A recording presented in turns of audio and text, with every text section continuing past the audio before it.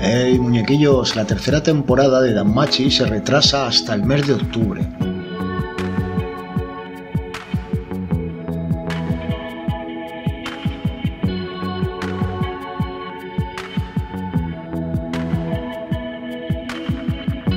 En la caja de descripción os dejo el enlace a su web oficial de la tercera temporada, donde podréis ver el tráiler e informaros de todo lo referente a esta nueva temporada.